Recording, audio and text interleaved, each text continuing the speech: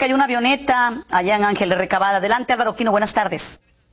Hola, ¿qué tal? Buenas tardes, Araceli. Pues para informarte que tripulantes de una avioneta tipo Cessna eh, procedentes de Tuxtla Gutiérrez, Chiapas, que iban con destino a Cuernavaca, Morelos, realizaron un aterrizaje forzoso, esto debido a las condiciones climatológicas que están prevaleciendo sobre la región de los Tuxtlas, que los obligó a aterrizar en un lote baldío denominado El Picho, esto en el municipio de Ángel R. Cavada. Los propietarios, eh, viéndose en esta necesidad tan imperiosa por las condiciones en que ellos se encontraban, pues bajaron en ese lugar, se dijeron ser propietarios de una constructora y viajaban a Cuernavaca, Morelos. La aeronave era piloteada por Rodríguez Ulises Astudillo Constantino iba acompañado de tres personas más, quienes responden a los nombres de Adiel de Jesús Astudillo, Luis Martín Pérez Abarca, Edwin Gutiérrez León, todos originarios de Tuxtla Gutiérrez, Chiapas.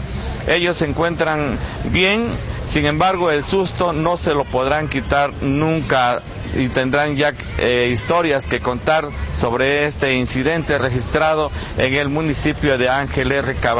Déjame decirte, Araceli, que hasta ese lugar llegaron elementos de seguridad pública para prestarles auxilio, del cual no hubo ninguna necesidad, solamente trasladarlos a un lugar seguro para que ellos pudieran comunicarse con sus familiares y decirles que se encuentran bien de salud. Ese es mi reporte, yo regreso con ustedes al estudio. Muy buenas tardes.